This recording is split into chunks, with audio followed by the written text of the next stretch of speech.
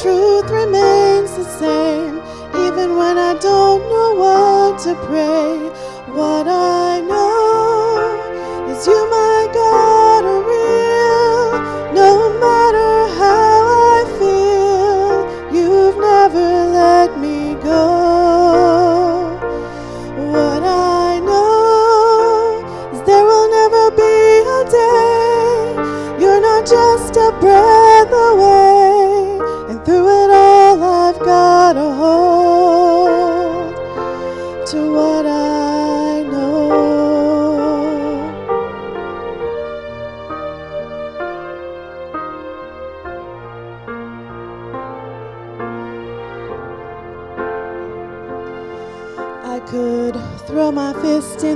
The demanding answers, but in spite of all my questions, I'm still giving you my life. And if it doesn't turn out like I think it should, doesn't turn the fact that you're always good, your ways are higher than mine. And the truth remains don't know what to pray. What I know is you, my God,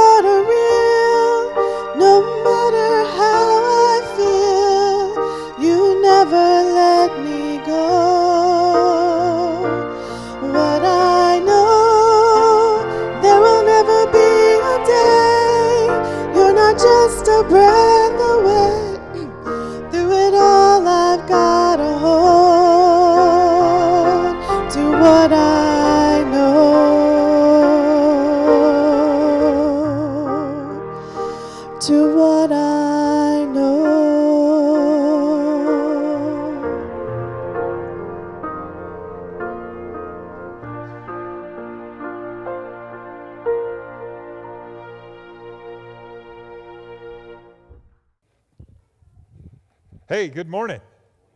How are we today? Oh, I'm glad. Hey, if you have your Bible, turn to 1 John chapter 2.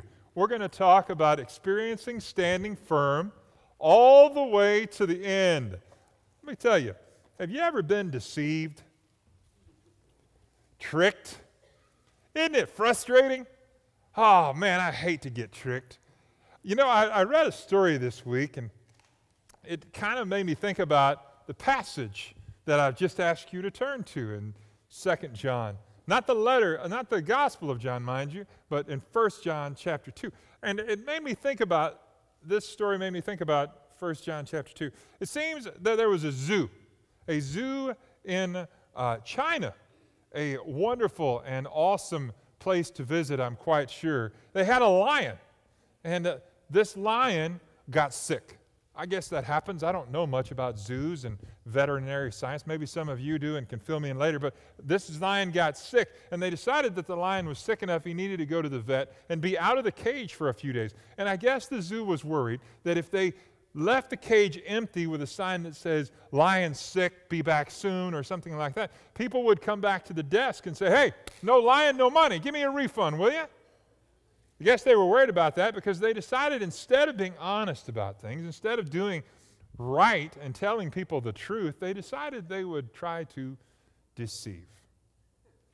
They decided they would take a Tibetan mastiff and dress him up like a lion. And so this is the animal that they put in the cage marked lion. It's not entirely clear how long the lion stood lion stood inside of his cage. But the roost was definitely over when the lion barked. I don't know much about lions, But I do know lions don't bark. Anybody with me there? Lions don't bark, okay? Some people were then quite frustrated and did indeed ask for a refund because they'd been deceived. Can I just tell you today, church, it's easy to laugh at this and go, that's ridiculous. Who would fall for a dog dressed up as a lion? Who would be so silly as to be deceived by that? And then only when it barks do they understand just how tricked they've been. But there are a lot of people that are buying into deceptions that are just as dangerous, that are just as twisted, just as devious, and uh, intending to take people places that they were never intended to go. And it's only until the lion barks that they realize just how tricked they've been. When the apostle John writes his letter to us, in John, 1 John chapter 2, he wants to help us understand some things. And I want to help you understand those same things today. So, with your Bible in hand, stand with me in 1 John chapter 2, starting in verse 18. Hear what the word of the Lord has to say. Dear children, this is the last hour. And as you have heard that the Antichrist is coming, even now many Antichrists have come. This is how we know it is the last hour.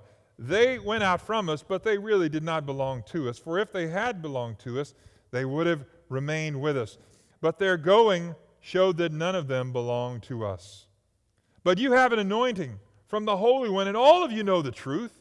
I don't write to you because you do not know the truth, but because you do know it, and because no lie comes from the truth.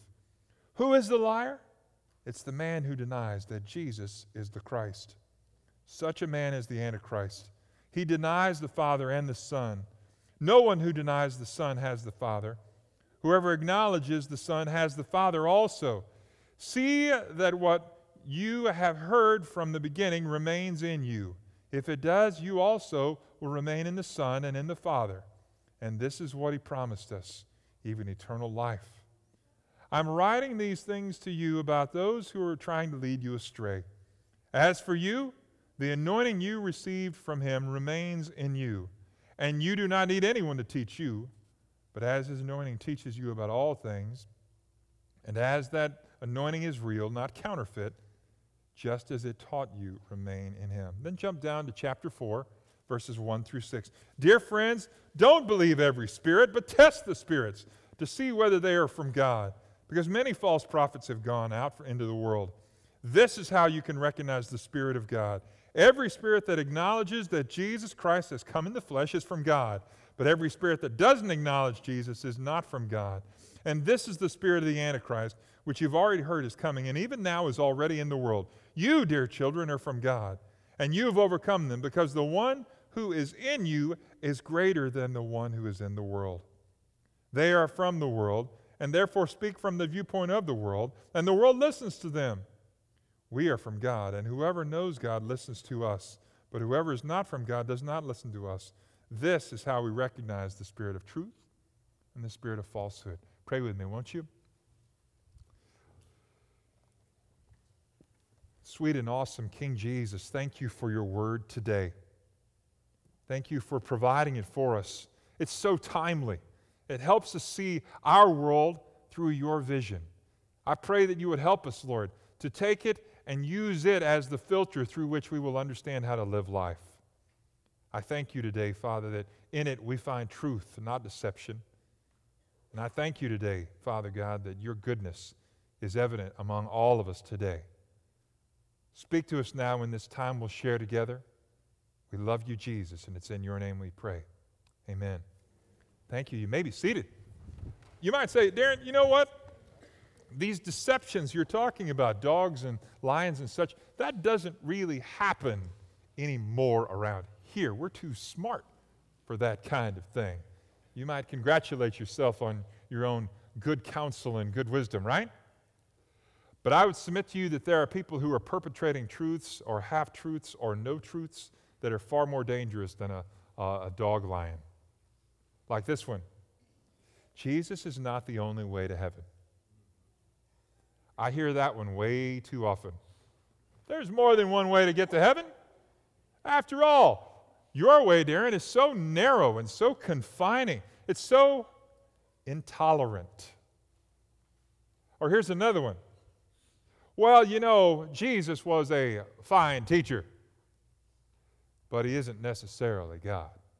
We can learn a lot from his teachings, but not necessarily have to abide by everything he says. Hogwash. You either take all of them or none of them. It doesn't come as a buffet. Here's another one that I really like. The only words that we really have to abide by in the Bible are the ones in red. That's a really popular one right now. There's even a group that's calling itself the Red Letter Christians. You heard of these knuckleheads? And yes, I did say knuckleheads. You can quote me on that if you'd like. Because that's exactly what they're saying. They're saying that the Word of God is only binding upon you if it's printed in red. As if the words of Jesus are somehow less inspired than the rest of the Bible or more inspired than the rest of the Bible. Be very afraid of that because it's a dog pretending to be a lion. Okay? It's a deception and a dangerous one at that because it will try to trick you into looking right. There are other groups, whole denominations, in fact, that found themselves on falsehood. You want me to call a name? Okay, I will, since you asked. Jehovah's Witness. They are a deception, they are a lie. I don't like saying that. It doesn't mean that I don't love them. I love them as much as anybody. But they've bought into a lie, and that deception is broad and encompassing, and it's destructive, and it's teaching people the wrong thing, taking them away from the truth instead of to the truth, capital V, capital truth, Jesus Himself. Jehovah's Witness is teaching a lie. And we've got to recognize it for what it is and stop pretending that it's really a lion when in fact it is a dog. It's a deception. Let's not let it deceive us. You might say, but Darren, you're all talking about stuff that happens now. What about when John's writing? Why does he say this? Because there was a group doing much the same thing when he's writing. There's a group that called themselves the Gnostics G N O S T I C. The Gnostics. They believed that there was a way to get to a higher level of knowledge, and that higher level of knowledge didn't have material properties, so everything that did have material properties must be destroyed, must be dissolved, or is not to be holy, including their own bodies. And so if Jesus came in the flesh, he can't really be the Savior. Can you see how dangerous that is? Whoa, whoa, whoa, wait a minute. that's a big jump. Yeah, it is a big jump, but that's the one they were making. And they were deceiving a lot of people. So in 1 John chapter 2, our friend the Apostle John sits down to make sure those that are listening to him understand there are liars. And there's a lot of them.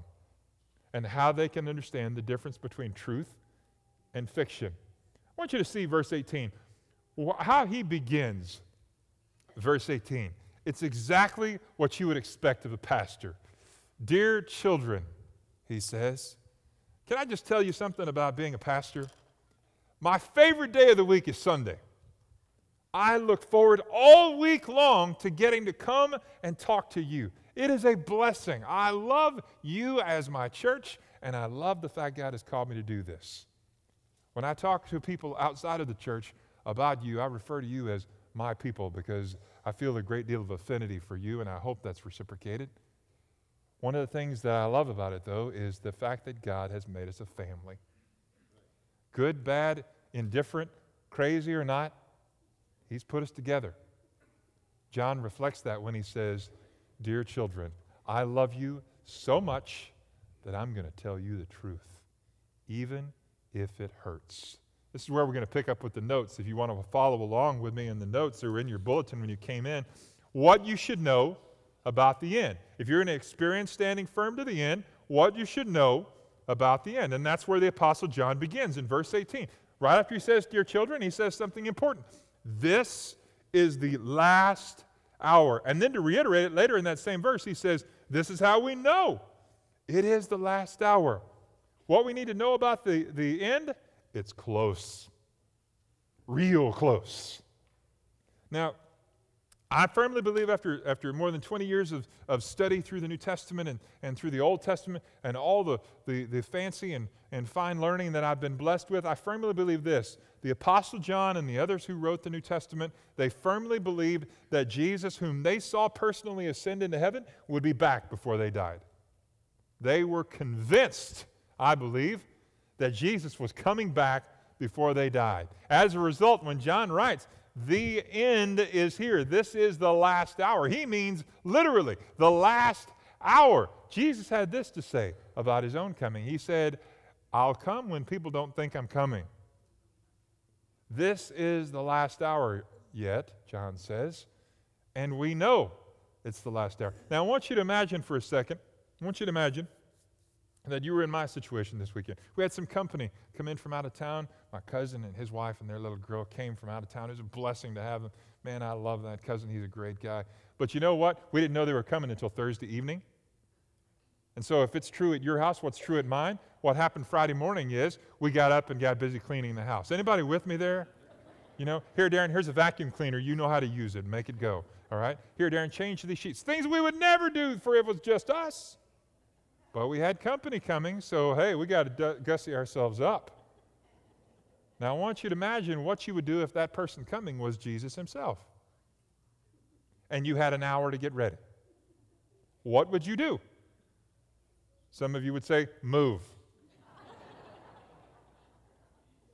but if you were really serious about it, what would you do if you knew Jesus was coming in an hour? What choices would you make? What would you say yes to? What would you say no to? That's what John wants us to realize. He wants us to realize the end is close. And that brings me to the second thing that he has in mind to tell you preparation is needed. It's one thing to recognize how close the end is, it's something else to do something about it. If you know the time is short, and it is, then what are you doing about that? The end is near, he says. The last hour is upon us. Well, Darren, it's been 2,000 years since Jesus ascended into heaven. How long is that last hour? I, you know, I, I can't really tell you. I don't know. But I know this God sits above time, and because he sits above time, then time doesn't mean anything to him. So when he calls the end, though, there's a hard stop a hard stop at the end when we will all stand before God and stand to account for our actions. And uh, let me tell you what won't get it done, all right? Doing great things, doing things that try to balance out the mistakes that you've made, doing stuff that you think is good morally, living a life that, that says you are a moral person, even, are you ready for this? Having your name on a church roll will not get it done. The only thing that will get you clear of that final judgment at the end is the name of Jesus as your own. His shed blood for you. That's it. So the only thing you can do to appropriate that is to call on Him, confess Him as your Savior, and accept Him as your Lord. Oh, it can't be that easy, Darren. Well, no, it's really not, because see, when you're Lord, He gets to make the decisions for your life. And as Lord, he gets to say yes, and you go with him, and he gets to say no, and you don't go. That's what it means. So that's the kind of preparation I'm talking about, getting your heart ready for that hard stop at the end. Here's what he wants you to really realize, though. As you are getting ready, there are going to be liars. Liars will emerge. Verse 19, they went out from us, John says, but they really did not belong to us. So I'm going to lay out for you a few characteristics, four to be specific, of those who are the Antichrist. Now, please observe, Antichrist is lowercase here. We're not talking about the beast in the book of Revelation or his buddy that wears the capital A Antichrist. We're not talking about those. We're talking instead about the little a Antichrist, those who are in the classical sense of this word, opposed to Christ. How will you know how will you recognize one who is opposed to Christ? I'm going to give you four characteristics of how you can do it. First of all, maybe, many times, they're from within. They won't necessarily be from somewhere else, they'll be from within us. I, I happen to belong to a wonderful scholars guild. It's a group called the Society of Biblical Literature. Uh, it's a, gr- a bunch of eggheads, PhDs, and such who sit around and talk about things that most people have no interest at all in even knowing about, much less discussing. It's a great opportunity. There's 10,000 of us worldwide, and uh, we meet together on an annual basis uh, somewhere here in the U.S., and then on uh, they, they meet. I don't go to the international meetings, but they meet on an international basis another time in the year. It's a great opportunity to engage with those who study the Bible. Notice what I said study the Bible, because one of our leading proponents in that, in that Scholars Guild is a man who doesn't believe the Bible is true. He didn't start out that way. He started out at a very conservative institution. He was raised in a very conservative church, named Jesus as his Lord as a teenager, went to school and got his ra- training to be a wonderful trained Greek scholar. He is indeed to this day, and that's what makes him so dangerous. They went out from us, but they weren't really from us, John said. He's one of them. But if I were to bring him here and stand him before you and have him, if I said, hey, here's what I want you to just talk about the New Testament. Man, he's so polished, he's so smooth. Now, he's not tall enough to stand behind my pulpit. He's a little short guy. But he's so smooth and he's so polished. And you would go out of here going, man, that guy is so smart. But you know what? He's a deceiver. How do you know for sure, Darren? Because he's not leading people to the truth, he's leading them away. And what's he doing? He's teaching New Testament at a university. If that doesn't scare you, it should. Read it again, verse 19. They went out from us. They looked right. They smelled right. But they were not from us. They didn't belong to us. They were a dog proclaiming themselves to be a lion. Be cautious. Many times they're from within. Here's the second thing Apostle John says many times they are numerous. See it there in verse 18. As you've heard, the Antichrist is coming. Even now, many Antichrists have come. Good gravy. Have people come out of the woodwork to proclaim Jesus wrong? It seems that way to me. Man, they're all over the place. Ah, oh, Jesus didn't really mean that. The Bible's just been mistranslated. It's been misinterpreted. Oh, yeah. If we had the real copy of the Bible, then we'd really know what Jesus said. You know what? We do. It's in your hands. It's in your hands. And these antichrists, no matter how many of them there may be, they're wrong. They're simply in error.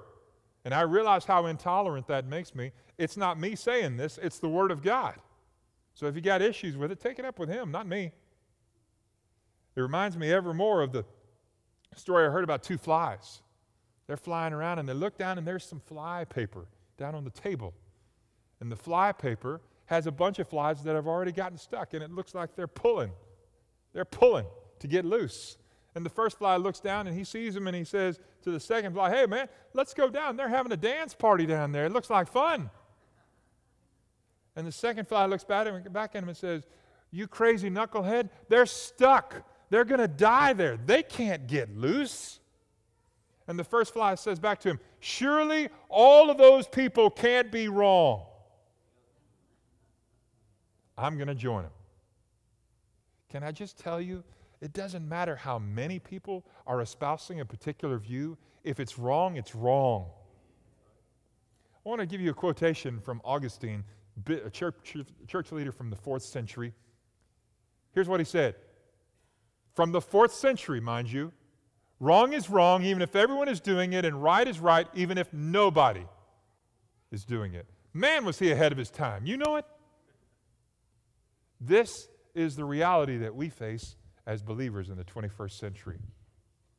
There are a lot of people, many of them even using the Word of God to tell us that we are wrong in areas wide and far. Most specifically, that Jesus isn't the only way to heaven, that there are lots of ways to understand other thinkings, other religions, that homosexuality is an endorsable lifestyle, that adultery isn't as bad as all that, that we just need to, to drop all our narrowness and get on the program. Let me read it to you again. Wrong is wrong, even if everybody is doing, and right is right, even if nobody is. It's a hard word, but one that we must embrace, church. We've got to realize what's going on. And the reality is, these antichrists don't want to lead us to Jesus, they want to take us away. How will we know them? What's another characteristic? Well, here's another one. They deny Jesus as God's Son, as well as Jesus' incarnation. See it there in verse 22. Who is the liar? It is whoever denies that Jesus is the Christ. Such a person is the Antichrist, denying the Father and the Son. That term, the Christ, it's not Jesus' last name. Rather, it's his title. And the title implies a couple of things. First of all, it implies that he is the anointed one, anointed with a capital A. Anointed, in other words, chosen, the one that was from told of ancient that he would come and he would fix it. He would remedy our situation through his own body and through his own blood. The incarnation, Jesus born on Christmas, is what happens. That's when Jesus did that for us. He did something only he could do to remedy a problem that only he could fix. And that problem is us, our sin problem. Can I give, give you some more good news? Jesus, his death and his life and his resurrection mean you can be free. So if we are to take a bad turn and be an antichrist, then we're going to tell you something like this Jesus is not the Christ. Either he didn't live or his life didn't mean anything. Or, here's the byproduct of that he was just a good person, a good teacher. C.S. Lewis, great writer from early part of uh, the, uh, the late part of the 20th century, he said this Either Jesus is who he claims to be as Christ and Lord and Son of God, or he's on level with a man who says he's a poached egg. There's nothing in between because either he is Lord or lunatic. There's no other alternatives. So if someone comes to you and they say, hey, you know what? Jesus really isn't who he claims he was, then you can recognize them as an Antichrist. You don't have to call them out that way. You don't have to hit them with your Bible. But you can say, I, I think I'm going to choose not to listen to that because it's not true. Here's another way you can recognize them they deny the Father and the Son. Verse 20, verse 23. No one who denies the Son has the Father. Whoever acknowledges the Son has the Father also. Hey, look at that. It's a two for sale. If you receive the Son, you get the Father, and we might say the Holy Spirit too. They all come together. You can't divide the Trinity. If you're going to have one, you're going to take all of them. And to get one gets all of them. They deny them. Here's the r- problem that they, the Antichrist really, really have they want you to be deceived because they themselves are too. So now that we recognize this and know what we should do about the end, what should we do about these liars? How do we handle it? Well, let's keep going in our passage. We'll start in verse 24. We're going to do this. We're going to remain in the truth. How will we know the truth? Verse 24 As for you, see that what you've heard from the beginning remains in you. If it does, you also will remain in the Father and in the Son. And this is what he promised us eternal life. Ah, the end in mind. When you set out on a trip, people are on vacation right now in many cases. When you set out on a trip, you've got a destination in mind most of the time. Here's where I'm going. Well, that's where the Apostle John is pointing you. We're going to eternal life. This isn't all there is. We're going further beyond that. Here's what he wants you to point to remain. See it there in verses 24 and 20, uh, twice in verse 24. Remains in you. And if you do, you remain in the Father. It is a sit down word, if you will. I'm not just walking through, I'm going to sit down and linger there. And I'm going to let the Father teach me because I'm going to sit at His feet. And I'm going to learn from Jesus because I'm going to listen to his word. Remain in the truth. Here's why I think Jesus, uh, the Apostle John, said this to us because he knew that in our culture, instead of remaining in the truth, many people would rather remain in the lie because it's easier culturally, it's easier emotionally. We don't have to fight that battle. Remaining in the truth is much more difficult. It's going to call us to some hard actions.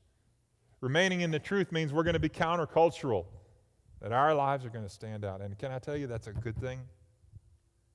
Be encouraged by that. If somebody says, You're different, you know what I say? Thanks. And then I realize usually they're talking about how goofy I am and height and such, but what I'm hoping they see is that there's a difference between the way that I live and the way everybody else does. Here's the point I'm making remaining in the truth means I'm going to choose truth when falsehood is easier. I'm going to choose truth and stick by it even when everybody else says don't. Remaining in the truth means I'm going to ignore liars and the Antichrist in favor of listening to the one who's led me to salvation. I think you should too. Doing that helps us see the reality that God has painted for us the reality of Him guiding us, of Him being our sustainer and not the world around us. Remain in the truth. Here's the second thing you need to do hold on to the foundational truth. See it there in verse 24 again. As for you, see that what you've heard from the beginning remains in you. Heard from the beginning. Things that you were taught. You know what? April 17, 1977, I came to faith in Christ. I was not quite nine years old at the time. And can I just tell you, man, my life, I had no idea where God was going to take me. But I knew this the truths that my grandmother and my mother had poured into me now became evident as I realized my own brokenness, my need for a Savior, and the fact that Jesus died for me. Those truths are the foundational truths that have carried me along. What about you? All of us have something we believe to be true. What I'm asking you today is to look within you and ask what that is. What is true for you? Is it really true, like Jesus as Savior and Lord? Or is it a dog pretending to be a lion who's led you to believe something that's false? Let's say again something we say pretty regularly around here. There's three things that last God, the Word of God, and the souls of people. That's a foundational truth. Here's another one Jesus died for you. Here's another one Jesus was raised back to life for you. Here's another one He's coming back. Those foundational truths are the things John's saying. Hold on to those. Because here's what's going to happen the waves are going to get high and the water is going to get choppy. I don't know much about sailing, but I know this. I know that if you tie a boat to the shore during a bad storm, it'll get beat to death because the waves will tear it up, banging it against the walls of the, of the, the place where you're storing it. Rather, instead, if you can anchor it deep and moor it somewhere out where it won't bang into things, its chances of survival are much greater as a result of being able to move with the storm. The difference isn't the boat, it's the anchor. What I'm asking you today is what's that anchor for you? The foundational truth. Here's the third thing that we do about it stand with certainty in God's anointing. This is for you that are believers. This is a word that's rooted in ancient times and you go back into Old Testament times, then you'll see that anointing was something that happened on a regular basis. When God chose somebody, when God set them aside and made them holy, then they would do, go through a process of anointing where they would take a fragrant oil and they would pour it on the anointed one's head, and that oil would run down and it would be fragrant and pungent, and it would flow down over their shoulders and their chest and their back and their arms and all the way down, and it would soak into their skin, and that anointing would carry them forward. And that anointing was something that they would be reminded of over and over again. And that anointing would be something that when they went out, people would say, You've been anointed. You have been anointed. Your life is not the same as it was beforehand. You've been anointed. That's what's happened to us, church. Because of Jesus, we have been anointed. It's been poured down on us. The problem that many of us have, we've been poured upon. We've received that anointing, and yet we've decided to cloak it because it's not culturally acceptable. It's not what people want to smell. You know what? It's time to stop that. Our world needs us to let them see that anointing. Can I give you good news? God delights in that. Hey, what are you doing up there, Donnie? Stop breaking it.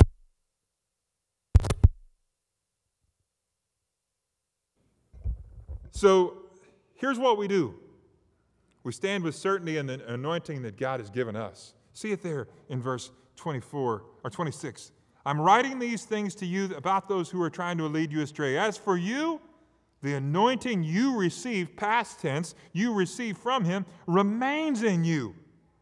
And you don't need anyone to teach you. But as, an anoint, as his anointing teaches you about all things, and as that anointing is real, not counterfeit, just as it taught you, remain in him. Whoa! You see how many times he used that phrase, remain? He wants you staying close by because there is no place better and there's no place safer than in his presence. All right, here's what we need at the end. Chapter 4, we're going to jump down there. I know you've been here a while, so we're going to run on through this because I want you to see okay, that's what we know about the end. What do we do about the liars? Okay, now, Darren, I get it. How do I recognize truth from falsehood? I'm going to give you just a couple of ways. First of all, verses 1 through 3. Let's read it again. Dear friends, don't believe every spirit, but test the spirits to see whether they are from God. Mm, because many false prophets have gone into the world. This is how you recognize the Spirit of God. Every spirit that acknowledges that Jesus Christ has come in the flesh is from God, but every spirit that doesn't acknowledge Jesus as is not from God. This is the spirit of the Antichrist, which you've already heard is coming, and even now is already in the world. Here's what he's warning you against smooth words. Don't be fooled by smooth words convincing arguments, polished speeches. Can I just warn you against that over and over and over again? Because I want to tell you, Satan is no moron. He's going to deceive you any way he can. And if he can make it attractive and tasty and delectable and acceptable, then he'll do it. Don't be fooled by smooth words. Like my friend that's in the Society of Biblical Literature thing with me, you can be tricked into believing that a dog is indeed a lion. Our friend John says this test every spirit. See it there in verse 1 of chapter 4. Test the spirits to see whether they are from God. And then verse 2 This is how you'll recognize the Spirit of God. Every spirit that acknowledges that Jesus Christ has come in the flesh is from God. If they're saying something else, they're wrong. Write it down, underline it, underscore it. If they're saying something else besides that, they're wrong. Doesn't mean we hate them. It doesn't mean we discriminate against them. It doesn't mean that we're angry with them. They're just wrong. It's like some of you that love cats. I love you. You can have all of them. You can have my share too. You're just wrong, and it's okay. But it does mean, here in this context, that there are some things that are right and there are some things that are wrong. This is a cultural, cultural attack I'll make for a moment. We are told that there is no universal truth. We are told that there's no truth true for always, always, always, every person. It's a lie. Because here John presents one right here Jesus is the Christ. That's an absolute truth. And you can like it or you can lump it, it's still true. What Jesus calls us to is to not debate its veracity, its truth, but rather to respond to it. We have two choices accept Him as Lord or reject Him. Those are our only choices. Smooth words won't make it any easier. And then in the last three verses, he says this You, dear children, are from the world and overcome them, because the one who is greater, the one who is in you, is greater than the one who is in the world. If you haven't underlined verse 4 already, do so, would you? They are from the world and therefore speak from the viewpoint of the world, and the world listens to them. We are from God, and whoever knows God listens to us, but whoever is not from God does not listen to them. This is how we recognize the spirit of truth and the spirit of falsehood. Okay, so here it is the last true test. How do we understand that? Well, it takes, it's sort of like in chemistry class. They made us, oh, well, forgot my microphone's off. I hate being anchored, don't you? When, you, uh, when I was in college, they made us take chemistry, which I thought was an odd choice for people studying the Bible, but I said, okay, I'll take it, man. If I have to take it to get through, that's, that's good enough. And one of the things they taught us is in there is they said, you know what? If you take this test, this litmus test, and you stick it down in some water, it will tell you the acidity of the water. It'll tell you whether it's just plain water or if it's muriatic acid or if it's sulfuric acid or if it's something something far far worse. It'll tell you how much acid content in that in that so you'll know what you should do with it. Well, that's exactly what John does with us here. He says, Here's what you should do. The spirit of truth and the spirit of falsehood are not the same. And I want you to notice that in verse 6. Notice that spirit of truth, in my Bible at least, spirit is capitalized. Notice that now because that's not a typo, it's a person, the Holy Spirit. But the spirit of falsehood, it's not capitalized because it's rather a mindset. The spirit of truth is easy to spot because it proclaims Jesus as Lord. If it fails that, then it's the spirit of falsehood. It's a yes no question, pass fail, up down. No other choices available. Well, but Darren, that's so narrow, that's so rigid, it's so hard. I know. But yet, we are called to it just the same, church. And not only that, we're called not only to accept that truth, but to respond to it to, to respond to it. And so, as a result of what we've heard, what we've learned, what are we to do now? Well, here's what we're to do. First, invite Christ into our lives, surrender our lives to Him. He paid for it with His own blood. So we surrender our lives to Him. That's what we do first. Second thing, we take the first step of obedience and get baptized. That tells anybody and everybody hey, you may have known me this way before, I'm different now. And it's not just because I'm soggy. The outside expression is an inside reflection of what God has done inside me. We're going to give you an opportunity to do that August 9th. Go ahead and write it down on your calendars now. August 9th. We're doing what we've come to call First Step Day.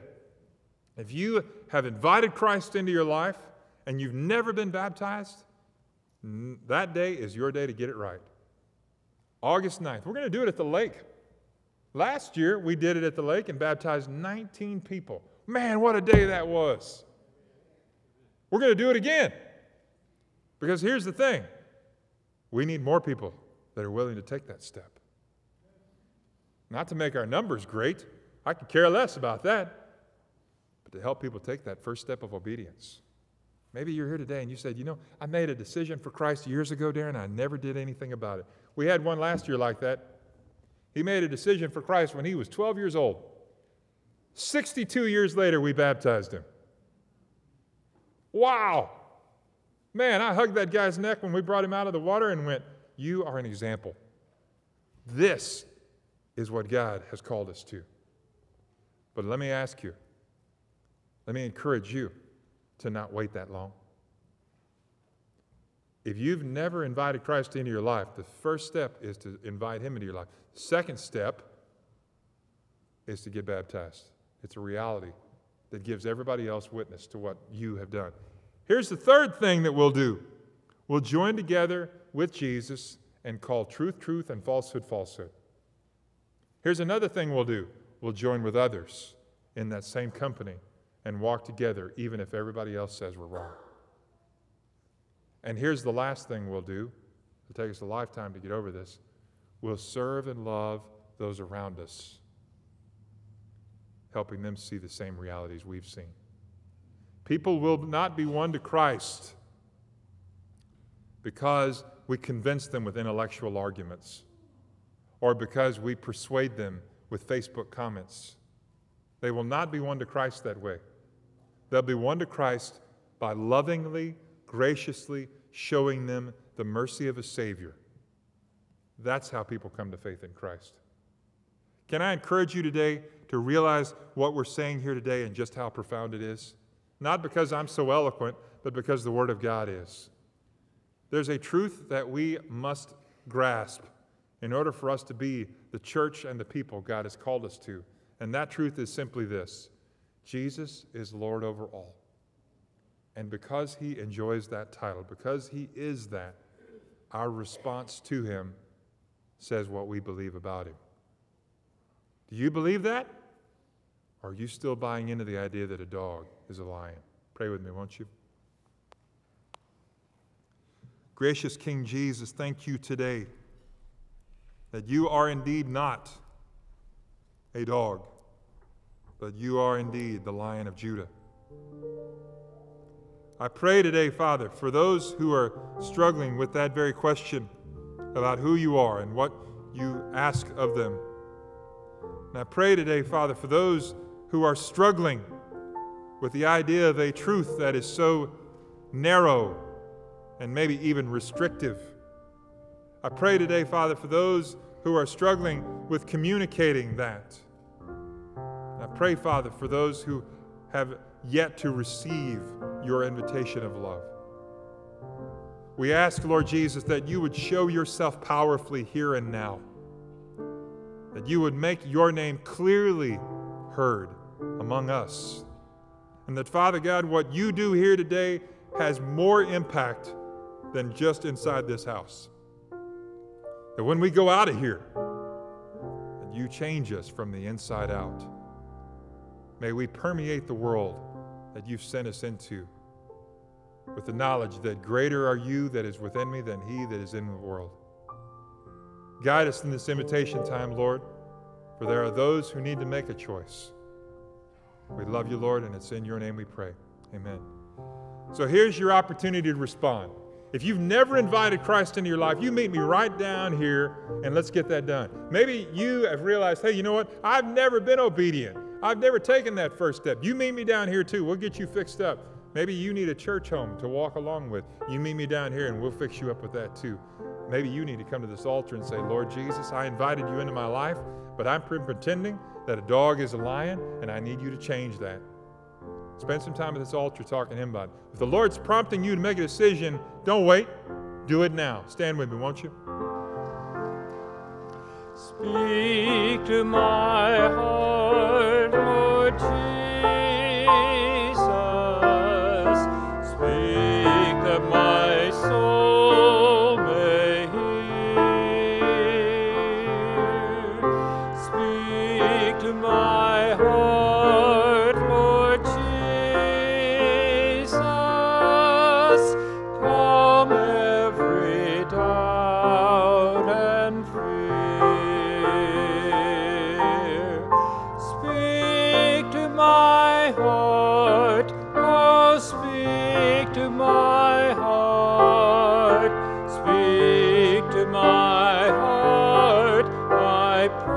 Bye.